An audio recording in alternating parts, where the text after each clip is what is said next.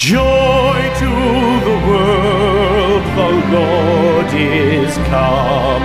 Let earth receive her King.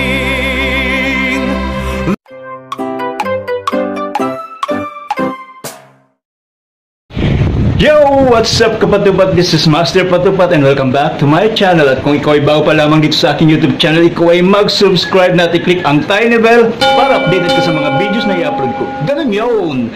Ayan mga kapatupat, ang saya-saya ng araw na ito. It's the last day of August. So tomorrow ay burn na po.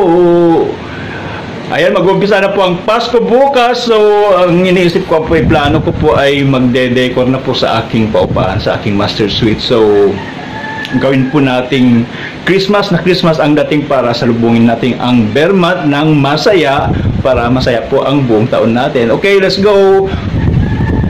Ang ginagawa ko po is hindi po ako bumibili ng mga bagong mga decor. Ang ginagawa ko po is talagang ginagamit ko po ang mga luma ko, mga, na, na may mga nagamit kong mga Christmas decor the previous year, yun pa rin ang gagamitin ko ngayon. So, lalo na ngayon, pandemic, iwasan po natin lumabas at mag-shopping. Walang pera, walang kita, at saka para makaiwas na rin po sa uh, COVID. So, ang gagawin po natin ay magsha-shopping po tayo dito sa aking cabinet. Tara, samahan niyo po ako mag-shopping. Okay, kapatid po, nandito po ako ngayon sa kwarto. So, dito ko po linalagay yung mga lumang mga decor, mga Christmas trees. So, ibababa po natin, ilalabas po natin lahat para yun po ang gagamitin din natin.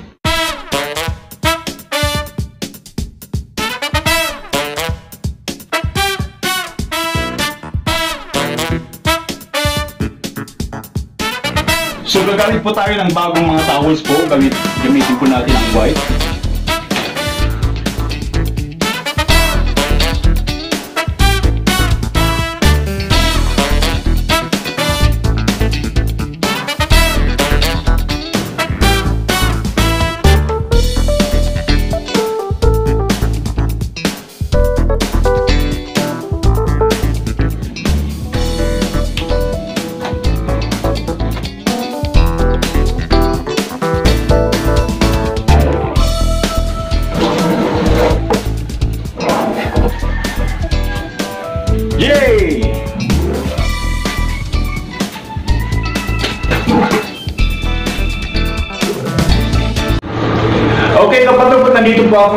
Master Suite. So, dito po natin set up ang Christmas. Dahil suite nga po ito, gawin po natin medyo classy ang dating. So, titingnan natin kung magiging classy ba ang old decor natin. So, titingnan po natin. Basta gawin po natin po ng creation. Gawin po natin ang creativity po natin sa mga lumang gamit. Okay, papakita ko po sa inyo ang existing setup ngayon ng suite para makukumpara po natin yung mga outcome ng mga gagawin natin.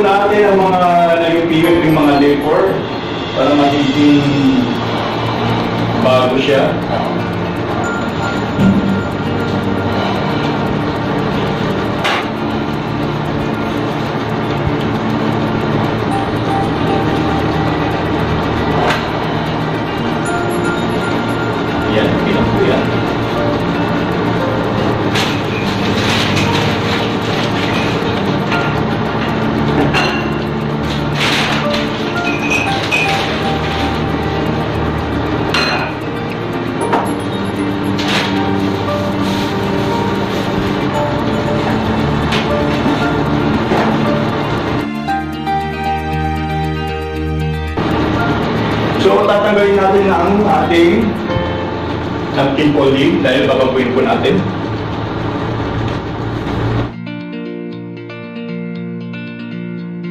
Okay, tanggalin po natin ang existing placemat po.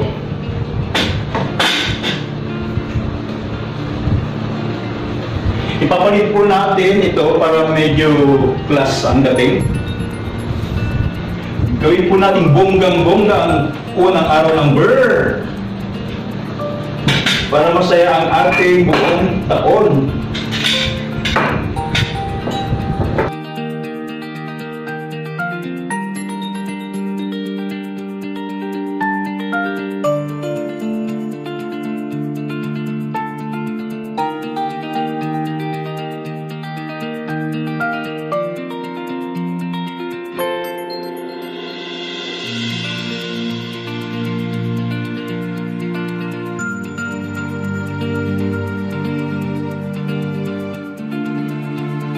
Okay, next, gagawa po tayo ng napkin folding. So, syempre, gagawin po natin Christmas ang dating. So, ang plano po ay gagawa po tayo ng Christmas tree. Okay, dahil Christmas tree, syempre, gagamit po tayo ng green. Okay, so ituturo ko po sa inyo kung paano mag-fold ng Christmas tree folding.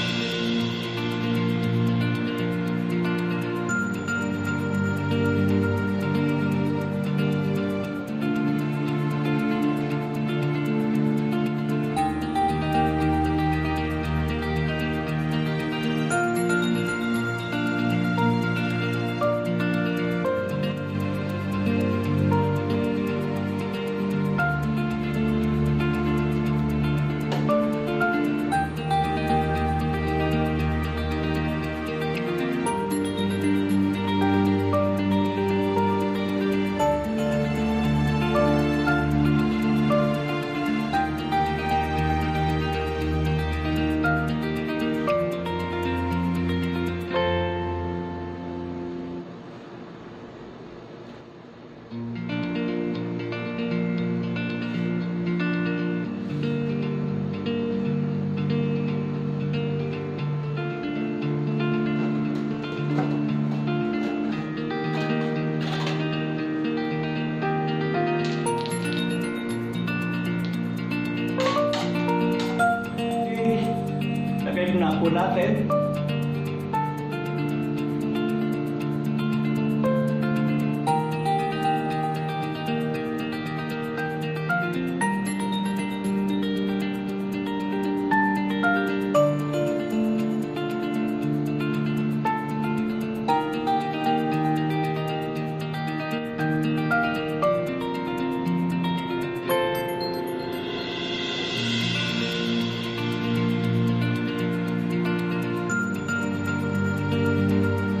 Okay, so okay na po ang ating towel foldings. Andiyan na po yung bath towels, ang ating face towels, tsaka yung hand towels.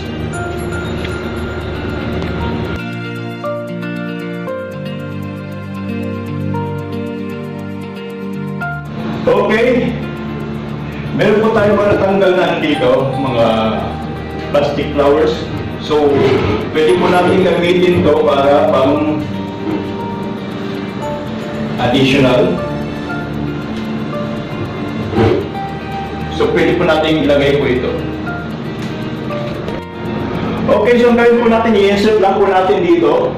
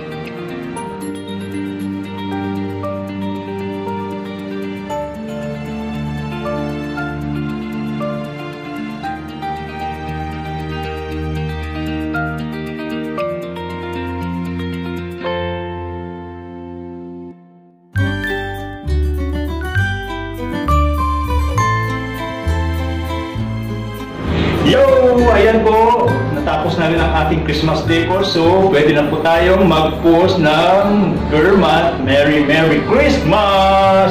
Ayan po, ipapakita ko po sa inyo ang nagawa po natin. On the first day of Christmas, my true love gave to me a partridge in a pear tree.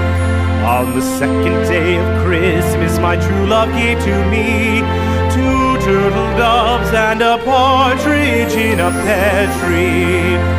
On the third day of Christmas, my true love gave to me three French hens, two turtle doves, and a partridge in a pear tree. Yo! Yun po nagtatapos ang ating Christmas decor. Sana nagustuhan niyo po ang ating presentation for the first day of Vermont. Merry Merry Christmas po. Stay healthy and safe po lahat. Kapatid, bye-bye. See you again on my next vlog. On the fifth day of Christmas, my true love gave to me five golden rings, four calling birds, three French hens, two turtle doves, and a partridge in a pear tree. On the sixth day of Christmas, my true love gave to me six geese a laying, five golden rings, four calling birds, three French hens, two turtle doves, and a partridge in a pear tree. On the seventh day of Christmas, my true love gave to me seven swans a singing, six geese a laying, five golden calling birds, three French hens, two turtle doves, and a partridge in a pear tree. On the eighth day of Christmas, my true love gave to me eight maids a milking, seven swans a swimming, six geese a laying, five golden rings, four calling birds, three French hens, two turtle doves, and a partridge in a pear